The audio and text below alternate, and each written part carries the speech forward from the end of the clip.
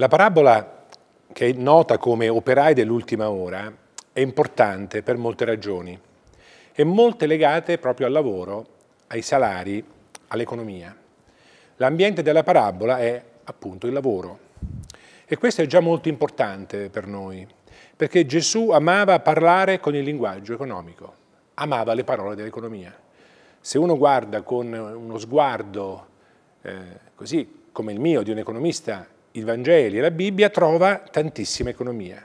Trova salari, talenti, amministratori onesti e disonesti, mercanti, denari e Gesù ha inserito addirittura la parola debito e debitori dentro il Padre nostro, la, la preghiera più amata del cristianesimo.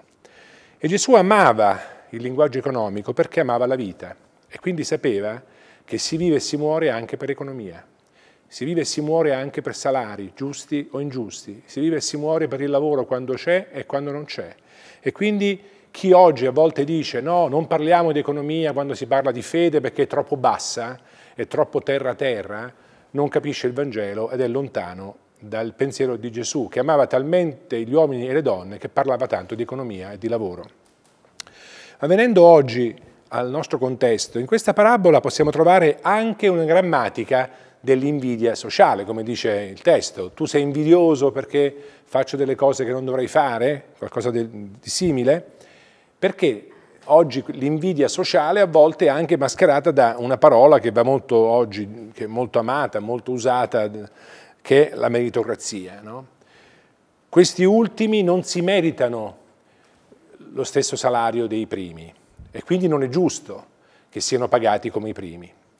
E invece il regno dei cieli è il luogo dove tutti gli operai di ogni ora sono trattati in modo giusto e nel modo migliore.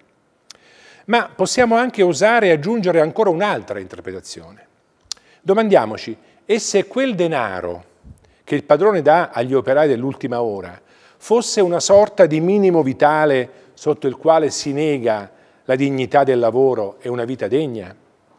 Non dimentichiamo un dettaglio, che nel racconto di Matteo quei lavoratori non arrivano all'ultima ora perché stavano a divertirsi o erano pigri. No, perché nessuno li aveva chiamati a lavorare.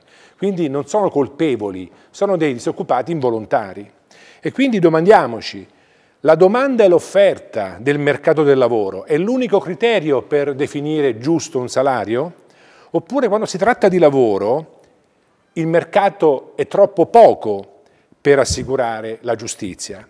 E magari dobbiamo immaginare altre parole accanto a mercato, come dignità e rispetto.